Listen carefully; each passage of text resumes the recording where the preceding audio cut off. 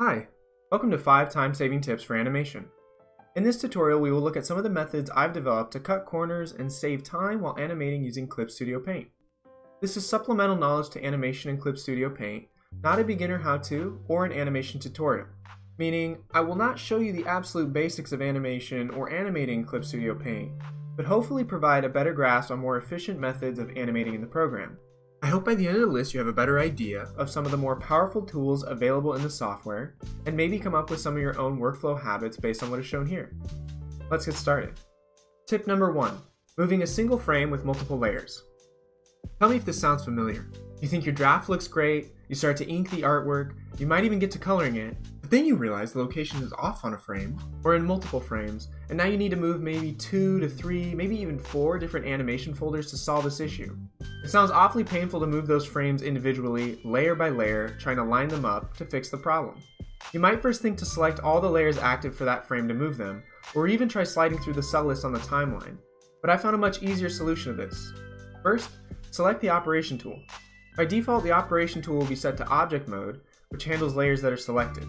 By choosing select layer in the subtool palette, we can now move any layers that are selected in the box. It also will ignore selections as seen in its subtool panel menu on the left. So for example, if we need to move this fully colored character, we will lock the layers we don't need, the background for example, and simply select in a box by clicking and dragging the area we do need, then make the necessary adjustments. Super handy for those pesky small adjustments needed later. Tip number two, using the light table for reference. One of the tools I often overlooked when first using Clip Studio's animation tools was the light table, which it turns out is quite useful. If you spend any amount of time animating in Clip Studio or other animation software, you're probably familiar with the onion skin feature, which allows you to see several cells in front and behind your current position on the timeline. The light table is a more versatile onion skin. Instead of showing cells in linear, chronological fashion like the onion skin, the light table lets you determine which cells are visible on a canvas basis or an individual cell basis. It's a great way to stay on model while drafting or finalizing your animation. Access the light table, go to Window, Animation Cells to open its respective tool panel. Here you can turn the light table on and off, determine whether it's active for all cells on the canvas or a single cell. You can load files from your documents directly into the light table for use. You can also register the current cell you're on, or what I like to do, drag and drop any number of cells for reference directly into the registry. You can determine the opacity of registered images on an individual basis or change them all at once. You can also change the color of the registered images to more easily distinguish between them, similar to onion skin. Let me show you how this can be used. I have here the beginning of a new animation loop, and I want to make sure the character I'm drawing remains accurate. I'm going to enable the light table and register this first keyframe for the entire canvas.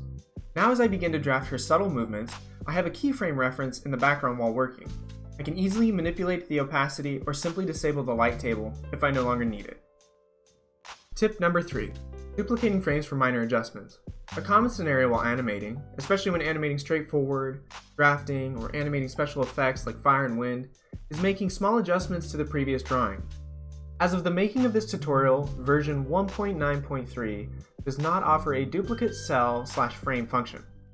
There is, however, a duplicate layer function, it is not keyboard bound, so we need to edit our shortcut key preferences to make the most of this function.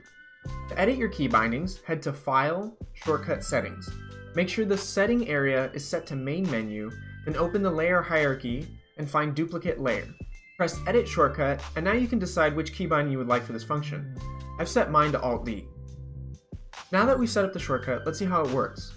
To perform this, select the cell on the timeline we wish to duplicate, which will automatically select the corresponding layer in the Layers palette. If at first the layer is not selected, be sure to expand the layer folder so you can see all the layers inside the appropriate animation folder. Then press your shortcut for duplicate layer, in this case Alt-D. Clip Studio Paint has now duplicated that frame's layer in the layer panel, so we can now right click on the timeline and register that layer to the timeline where we need it. It isn't a perfect solution, but this is the best workaround I've found until it's given a proper function. Tip number 4 using the subview for color picking and reference. In most other painting programs, when you want to use an image for reference or color picking, The steps to take usually look something along the lines of open the image, undock the window, and set it aside, go back and forth between two different canvases for reference and color picking. Alternatively, load the image into the document and have it as an additional layer. Clip Studio Paint has an elegant solution to this in the Subview palette. To open this panel, click on Window, Subview. If you're using the default workspace, Subview is tabbed next to the Navigator panel in the top right. I like to keep my subview pinned on the right side dock for easy access. The subview allows you to load images to quickly color pick or simply keep as a reference. Pretty straightforward. To make the most of color picking quickly, enable Switch to Eyedropper automatically in the panel settings. I like to create my color palettes in a separate document and then load them into Subview for my coloring process. This is a huge time saver when coloring your final animations. Tip number 5. Timeline and layer organization, best practices. Because of the way Clip Studio Paint handles animation, layers are cells kept in an animation folder you register to the timeline, it's a good idea to correctly name your groups, animation folders, and subsequent layers when necessary. The general hierarchy for thinking about your animation goes as such. Layers are in animation folders, which are kept in groups. If we need to have multiple animation folders for different things, such as lines separated from colors, then they would be labeled and organized correctly to reflect that. Keeping things organized in the Layers panel helps keep you organized in the timeline. Larger, more complex animations can sometimes feel out of hand if you've forgotten to label things or keep track of what goes where. In the animation I'm showing, I've separated her hair and beanie into a single animation folder, her face into its own, her hands are separated, and her body is last. If the naming convention of duplicating or creating new layers becomes too unclear by the end of your project, Clip Studio has a function in the timeline menu to rename everything in the order of how it's registered to the timeline or in the order of the layer panel. Simply go to Timeline menu, Edit Track, rename in order of timeline, or rename in order of layers, depending on which one you need. This is very helpful for cleaning up your layers and staying organized. Another helpful function on the timeline to reorganize is batch specify cells. Available via the timeline menu, go to edit track and batch specify cells, which allows you to set any number of cells in an order you specify.